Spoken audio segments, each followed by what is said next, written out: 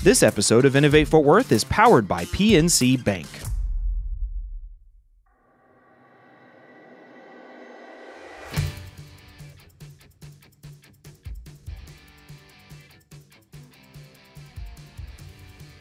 Welcome to Innovate Fort Worth, the podcast where we highlight local innovation and the people bringing those innovations to market. I'm Cameron Cushman, and this episode is part of a special series that features the companies in the Techstars Physical Health Accelerator in Fort Worth.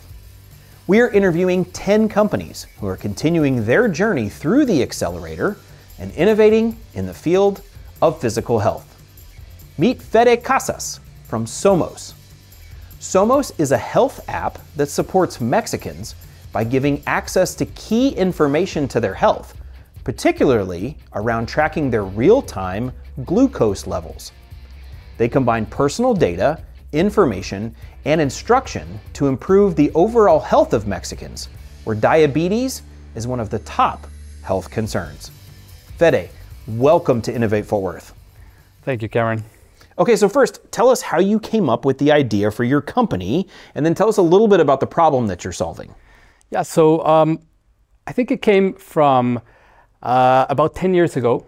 My dad had a health scare. I received a call and he was having a heart attack. And he was 50 years old. He was very uh, athletic, uh, had a pretty decent diet. He was healthy overall. But he got blindsided by this illness. So that got me thinking uh, why, why was he blindsided? Why do we have a car that we know that's running out of gas, but we have our bodies and we don't know what's happening inside our bodies?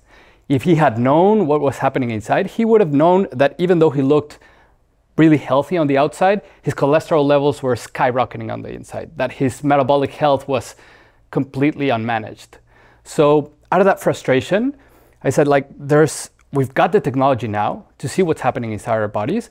Let's just put it to use, put everything, all of that information into one place so that we can see what's happening inside our bodies and prevent all this like unnecessary health scares maybe even deaths. No? My, my father didn't die. Uh, he survived that heart attack, but that got me really inspired. And, and now, uh, a few years later, I'm 42, and I, I think I was, I also look pretty healthy, but inside, my cholesterol levels are skyrocketing, my ApoB is out of whack. So then I'm leaving the problem of not knowing what's happening inside my body.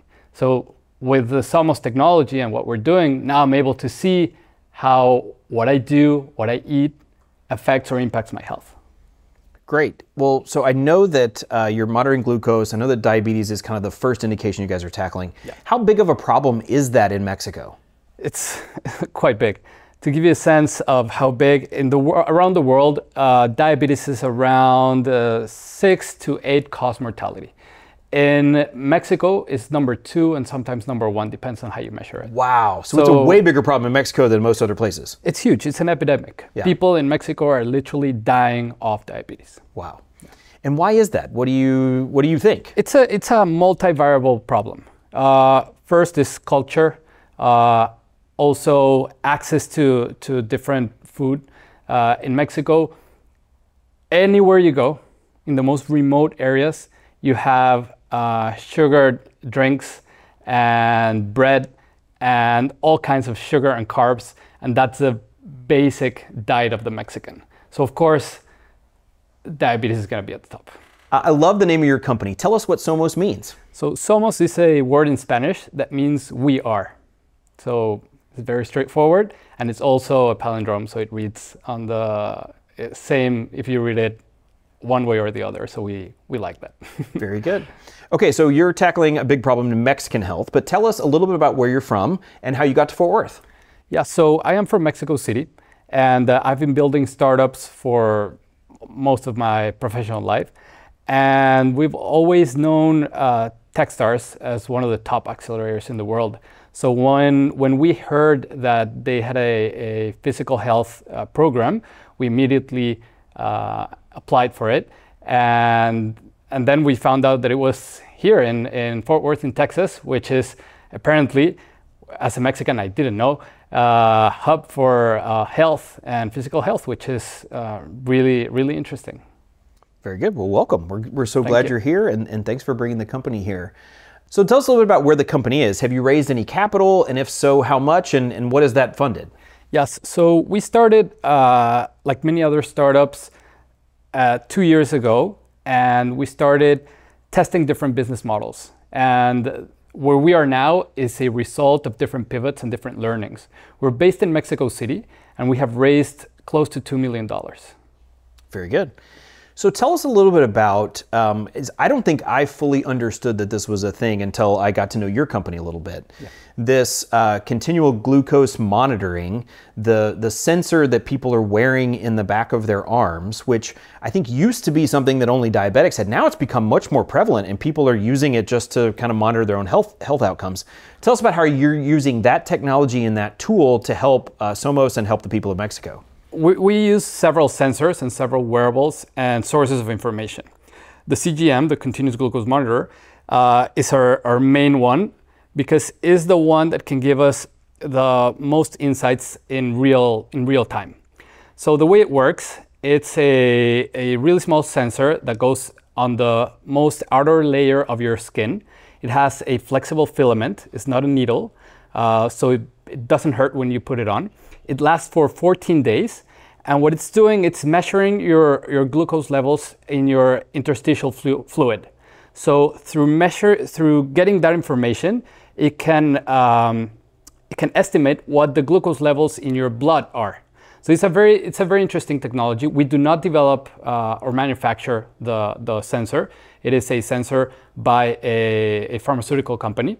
And what we do is we have the technology to connect to that sensor, interpret the data, and then show our, our customers uh, all kinds of stats around their glucose. So, how many peaks they have, uh, how certain foods affect their glucose levels, um, what's the average glucose, and we, we give the, our patients all of that information for 14 days. That uh, each, each sensor only lasts for that, for two weeks. And I've heard, I haven't done this, but maybe you can kind of tell little about this that, I mean, literally you can see in real time when you drink a soda, when you drink a glass of orange juice, or you eat a cookie or something like that.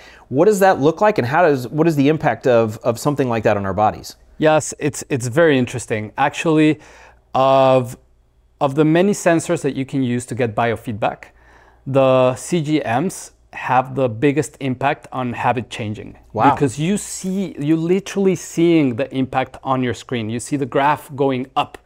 So if you eat a salad and then maybe some protein, you see your uh, glucose graph almost not move. It's almost flat. And then if you have a brownie or an ice cream or an orange juice, then you see it spike and you see in uh, 20 minutes, you start seeing how it spikes all the way up. Uh, so in in real time you see the impact. So if I'm a citizen of Mexico, I'm wearing one of these glucose monitors, I'm a Somos customer, I see all this in real time. What if what kind of results have you seen from just reporting this back to your customers and your clients? We have uh, around 80% of our customers change at least one um, daily habit, one, one habit that they've ha- they have had for all their lives by just seeing the biofeedback feedback once. So let's say you have an orange uh, glass of orange juice every morning, and you see the spike. After seeing that first spike, 80% of our customers stop having that orange juice glass the next morning. That is fascinating. Yeah. That is a really impressive way to change behavior. Yeah. Oh my goodness! Wow, that's great. So, uh, so you are uh, here in this Techstars program in Fort Worth for the next few months. Um, what can our audience do to help you and to help your company? There's there's two things. One, I've found that coming to Fort Worth and the U.S. specifically has helped us a lot because here there's a culture of supporting and promoting dreams and high, and, and big vision. And I know that might sound pretty obvious to you guys but in Mexico is the opposite. Hmm. In Mexico, I had to water down our vision and water down uh, our uh, our plans so that people would believe in us. But coming here is the all the way all the way around. Here you're pushed to think big, pushed to have bigger visions. So one of the things that, that they can do to help us is just keep us uh, keep us alive by by pushing us forward and, and allowing us to dream big and, and solving big problems. And the other one is if you know of any uh, angel investors or people who are really invested and really believe in our vision, we still have room to bring in as investors uh, small checks of very smart people who want to contribute to our vision. That makes sense. So you're looking for capital and you're looking for some cheerleaders, right, yes. to help you uh, help you get to that vision. Exactly. That's that's what you need as a startup founder. that's exactly right. Fede, which innovator inspires you? I would say um, I'm really inspired by by Nikola Tesla. Hmm. Um, his uh, person that really knew how to think outside the box. Of course, a weird character and everything, but uh, he, he really knew how to think really very outside the box. And that really inspires me to come up with new ideas to solve problems every day. That's great. Very good. Fede, thank you so much for joining me today at Innovate Fort Worth. If you want to learn more about Somos, you can visit their website at somos.me. That's S O M O S dot M E.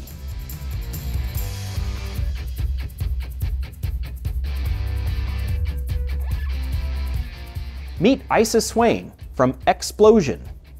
Xplosion is a diabetes management app that supports teens who struggle with controlling their blood sugar levels. This platform aims to strengthen health equity through machine learning and real time data analysis. They connect physicians with real time data of teens' health, which helps healthcare teams be more proactive in managing adolescent diabetes. Isis, welcome to Innovate Fort Worth. Thank you for having me. So happy to be here. We're so glad you're here. So tell us, first of all, how did you come up with the idea for the company? Yes, so it was during the pandemic, um, which was the scariest part in anybody's life, right? But my father was diagnosed with type 2 diabetes. And of course, with anybody that had a chronic condition, it was very unlikely you would make it if you contracted COVID, uh, which led me and my mom to be present at every doctor's visit. One thing, uh, one visit that stuck out the most was the visit with the nutritionist. And so we're having this virtual call. And as soon as we get on this call, the nutritionist they don't ask what food my father likes, what food is in the refrigerator, um, what foods do, does he uh, typically like to prepare. Um, immediately gets on the call and tells my 65 year old black father from Louisville, Mississippi, he should become vegan and he should eat kale. He that ain't gonna work. Right. you and I know this. That's right. Yeah. Why she doesn't know this, yeah. I, I don't know. Um, but I have a lot more empathy for her uh, due to like the current system in healthcare. But um, my father looks at me and my mom and he's like, "What is kale?" And we had to translate like, "Oh no, she really means eat more greens." Hence our company. We're going through a rebrand it's called Greens Health, um, but yeah, eat more collard and mustard greens. And so from that conversation, we realized that, that there was a layer of cultural competency missing, that the nutritionist just actually didn't have time to get a better understanding of what the environment was for that patient. And then also a lack of empathy, right? So asking somebody, because uh, typically food is a sense of comfort for a lot of people, sure. especially for diverse populations. And so asking somebody to change their diet and behavior overnight that was completely unacceptable and it uh, really invigorated us to do something about it. Okay, so you mentioned that the company uh, is going through a rebrand. Uh, mm-hmm. We introduced the company as Xplosion. That's with it starts with an X, mm-hmm. but the app and uh, the company moving forward is going to be called Greens. Can you tell us a little bit about that and and why you decided to make that change? Yeah, so um, one, we wanted to again inject that cultural competency. We've been a company for about six years and we've made a pivot uh, as we focus on industries that we care most about. So, background is electrical engineering. Uh, originally, we were doing uh, machine learning in the sports technology space, uh, but since this pandemic and since this uh, pivotal issue that has changed my life, um, we definitely wanted to focus more on the diabetes space to help not only my family, but more families in America that are going after the same issue. So, specifically with Greens Health, um, it is a SMS text service because one of the things in America that we're also contending with is lack of Wi-Fi, right? So Wi-Fi isn't available in every community yet, but there are innovators working on that every day. Um, so we wanted that we wanted to expand the capability for every person to have access to the technology that pr- we provide. But there's also a mobile app com- companion, and our um, our value proposition is broken up into two parts. One, it is providing care coordination. And I mention that because with populations, especially that are underserved and marginalized, uh, physicians and other clinicians will say, oh, patients are not compliant to my treatment orders. But typically, there's some type of barrier that that patient is experiencing, whether it be transportation, housing, food insecurity, and things of that nature. So we, uh, we partner with third party vendors to close the loop to solve those problems. After that, we enroll them into an adherence program. And this is not just with the patient, this is with their family. So, taking again my experience, not only did my father have to change his diet, as a family, we had to go under that diet change to really have a sustainable impact because, of course, he's the first one diagnosed, but it's not unlikely that the rest of us won't be diagnosed with type 2 if we continue with that same behavior. Yeah, and there is a hereditary aspect to it. So exactly. if you're related, you're more likely to to get it, especially if you stay eating all that good food that he likes exactly, to eat. Exactly, right? exactly. And it's just like those recipe modifications that we had to make, but also satisfying taste first. So when we provide those recommendations to patients and their families, we identify that first, and we're not uh, advertising, you know, tasteless, healthy food and these bland salads that most, you know, nutritionists will prescribe. Very good. So tell us where you're from and how you got to Fort Worth. So I'm originally from Houston, Texas, and I got an introduction to Fort Worth through the Techstars program. And Fort Worth has been a beautiful city, and everybody has been extremely welcoming and very nice and open with introductions. And one of the things that we want to do more of is just get immersed into the community because it's such a, as Techstars would say, give first community. So I think we're in the right spot. That's great. Tell me about uh, your co founder. So, my co founder is actually my husband as well. Um, we met in college, and I think, as most I would I would hope that most co-founders start off is like you start working on group projects, right? And you start to see like, do I like this person? Uh, do they submit things on time? Um, do they contribute? And he checked off all of those boxes, and he was actually very fun to work with, which is why I married him too. So I was like, it was a twofer. He is pretty fun. yeah, he is. He, he, brings a certain energy to this place, which is really fun. So. Always. Funky socks and cowboy hat is how you can identify him. There you go. Now we know. funky socks and cowboy. So he fits in Funky Town then, exactly, right? Yeah, there exactly. you go. He's bringing the funk. I love it. Mm-hmm. Um, has uh, has Xplosion raised any capital, and if so, how much, and what's that look like? Yeah, so we are split between 380 in uh, dilutive capital. Okay. And 370. Three hundred eighty thousand. Three hundred eighty thousand. Okay. Sorry, three hundred eighty thousand in dilutive capital and three hundred seventy thousand in non-dilutive capital. And so we've gotten uh, an NSF SBIR, Alabama matching funds, where my company is actually he- headquartered in Birmingham, Alabama, as well as a Air Force contract as well. Fantastic. So you've been able to really diversify your funding sources to grow the company. Yes, and it has been incredible. Um, and not only do they give you the cash, but they also give you expertise, mentorship um, to expand on our intervention and all that kind of good stuff. And have you found that some of those non dilutive grants are kind of a validator? that you're onto something. This is a problem we're solving. They like your technology. Does and then what do additional investors think about that? Uh, traditionally investors love it, right? Okay. Because it shows that you're scrappy, you're willing to go the extra mile and put the time and work in. Um, but one of the things that I love about the grant process is that it teaches you how to think about your business. And especially when you do that budget and you start to do that forecasting where it's like, oh, how much are you going to pay your engineers? What is the scope of work? It makes you really sit down and organize all of your thoughts um, in, into that uh, grant application as well as your intervention protocol. And so, one of the things that's great for us is that we design for the worst case experience, right? Um, which was good because we have a grant application to refer back to as we start to deploy our interventions and our pilot studies. Very cool. Now, I know you're focused on the Southeast United States yeah. and, and diabetes, as we already talked about, but how big of a problem is this in this part of the country?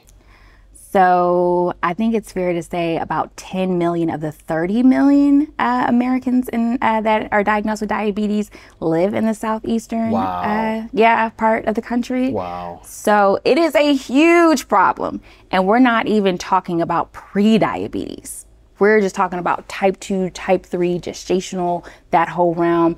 But traditionally, when we talk about innovation, as I mentioned before, um, that part of the country is left out. There are innovative solutions going on in California and in New York, but Texas, Alabama, Louisiana, it's like there it's an absolute desert, which is crazy to me. Um, but it also uh, depends on the policy, which is another thing that we're fighting for too. And it's like the access to CGMs and access to innovative technology um, that south- southeastern states typically don't get access to because of uh, Medicaid and Medicare policy. Fascinating. So, what do you need the most help with in your company, uh, and and how are you trying to address that while you're in Fort Worth?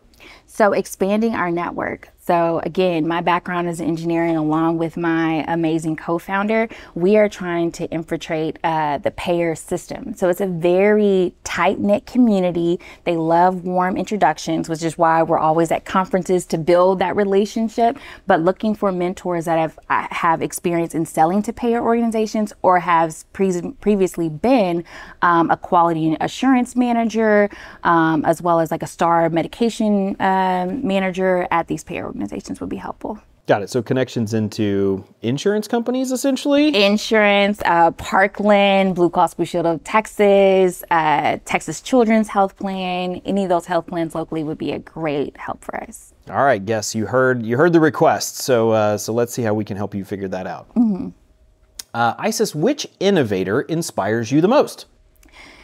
So the innovator that comes to mind is Dr. Toyin Ajayi. I hope I'm not pronouncing that wrong, but she is the founder of Cityblock.